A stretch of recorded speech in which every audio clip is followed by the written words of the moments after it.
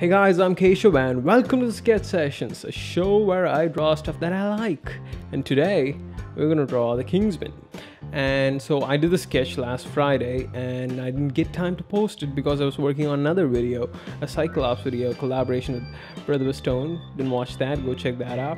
And I saw the movie and I thought I should do some sketch for this thing. Do something. I should do something. So that's what I'm doing right now drawing the stuff. And uh, so the day i drew the sketch was uh, on the day of Holi. And i know some of you like holy what Keshav it's just Holi with an i. It's a festival in india a day to leave your white clothes in your closet because they ain't getting whiter. So what exactly people do on this day is that they throw colored stuff on you you know at you. And you're gonna get more colorful on this day and uh, so I kind of went on the theme of Holi and I was drawing I want to draw something on the Kingsman. So that's what I went with some kind of a Holi mixed with Kingsman theme. So I kind of drew this stuff and uh, this drawing took me about an hour or so and something exactly between an hour and an hour and a half and I, I kind of started using these blue pencils as a bottom stuff what I mean, uh, more of a baseline stuff uh, where I uh, just you know roughly sketch out my drawing and you go go on inking with my ballpoint pen. So that's turning out pretty damn good if you ask me. Uh, and I kind of drew Samuel Jackson as a young kid, small fella.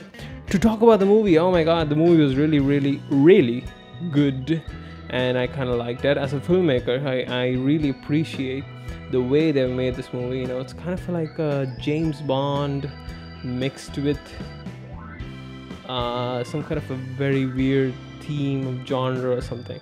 It's really nice to watch films like this. You know, makes me. Uh, I mean, helps me learn a lot of stuff about filmmaking. And the action scenes. Oh my god, the action scenes. They're just oh damn. Need you guys need to watch this movie if you haven't watched it yet.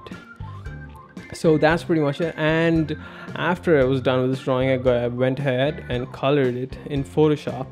And i kind of i'm kind of getting better at photoshop. Yes a little bit. So uh, the the final image turned out pretty decent. Actually pretty good. You know what? I'm gonna be proud of my work at least for now uh, so yeah that's pretty much it thank you guys for watching and i'll be back with another video another sketching session on Friday.